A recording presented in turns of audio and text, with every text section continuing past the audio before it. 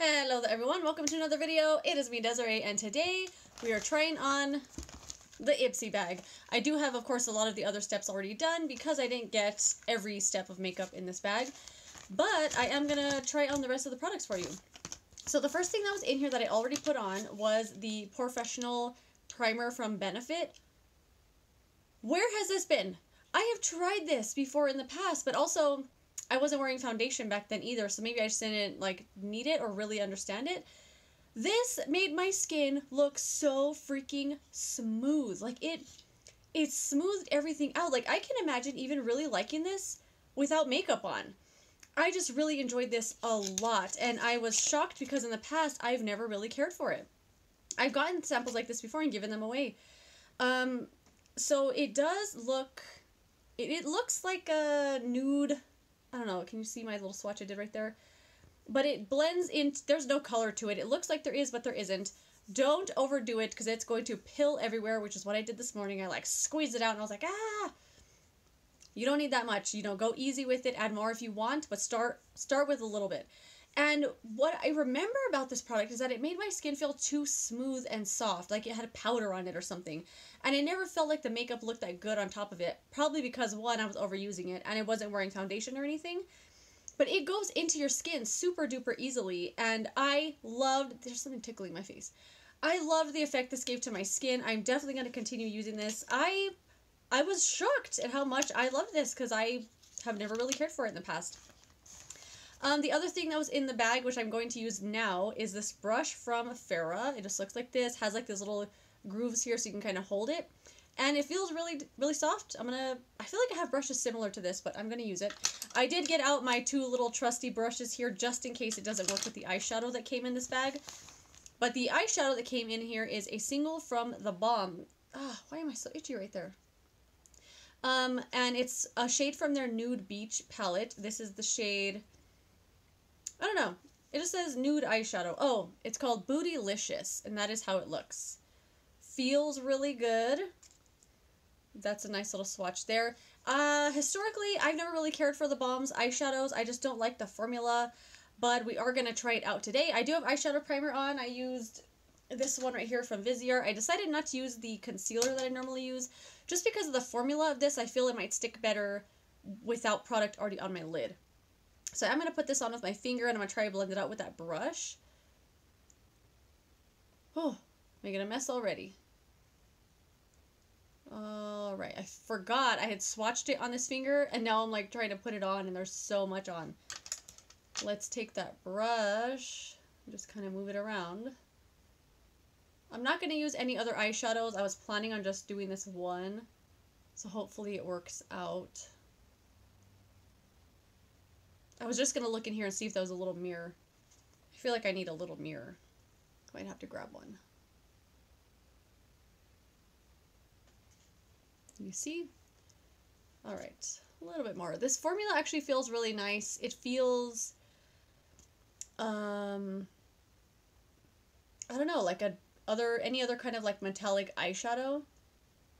I don't know what it is about their palettes. I've actually never tried their singles um, maybe they're better, but the palette eyeshadows, I just don't like that much. There's something in my eye.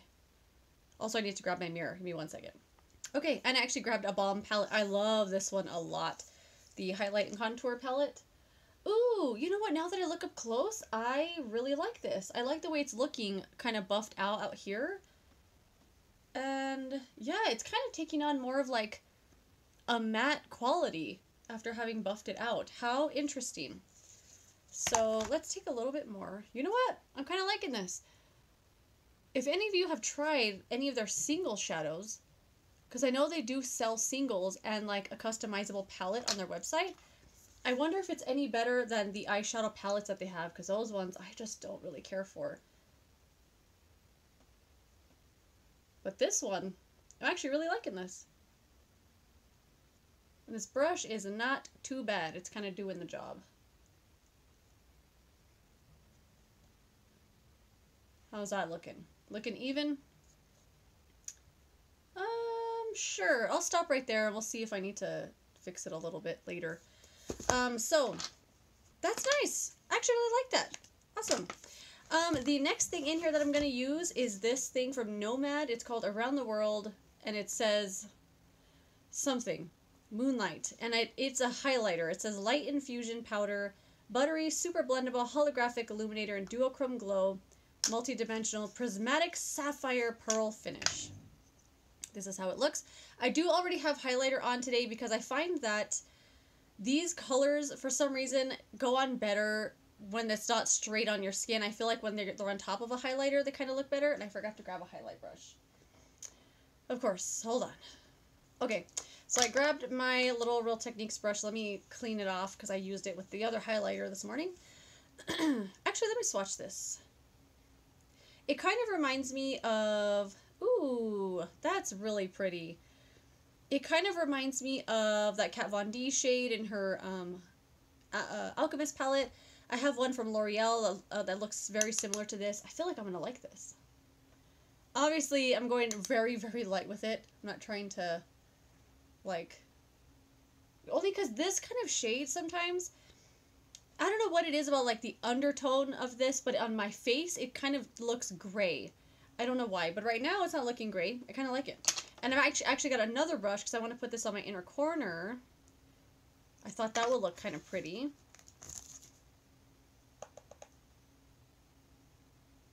Or I thought it would. Let's see if it actually does. Ooh, I like it. I Oh my gosh, I like the shade a lot.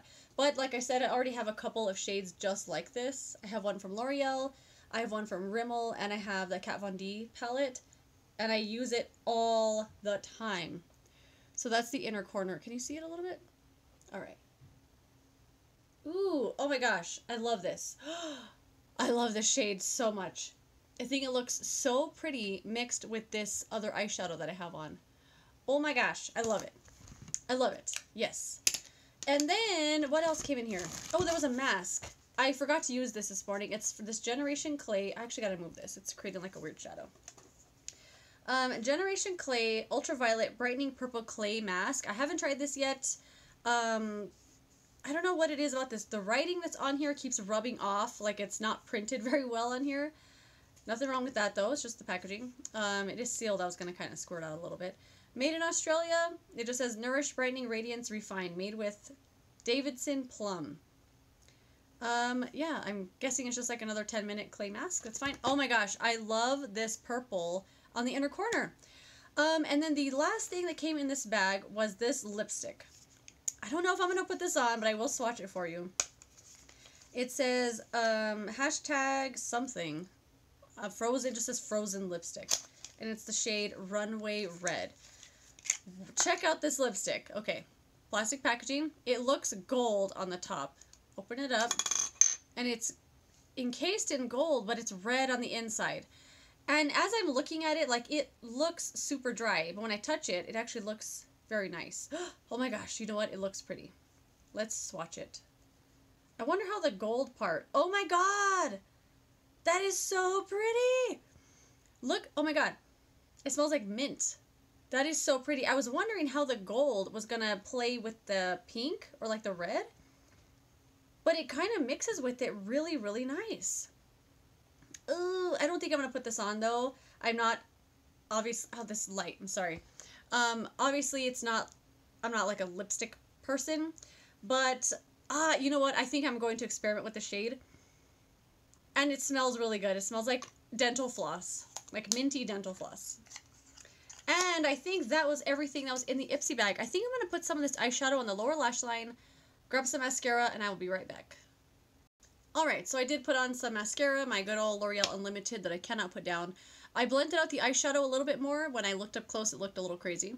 But this inner corner purple, oh my gosh, I love it so much. And I put some on the lower lash line as well with this eyeshadow single. I'm loving this little single. Obviously, I've only used it once, but I love it. Look what I did with my hand just now on my mascara. I glopped on way too much, like I was just layering it like crazy, so I got it, like, pinched it. I probably should have washed that off a second ago, but you know what? It's real life here, people.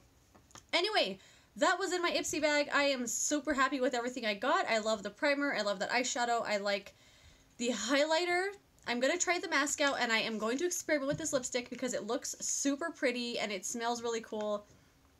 I can see that on my lips. I can see it. I'm going to try it out. But anyway, that is that. Share with me, please, what you got in your Ipsy bag. If you also got this little tiny purple highlighter, let me know because holy moly, I love it. And yeah, that's it. Thanks for joining me with this video, and I will see you in another one. Ooh, goodbye.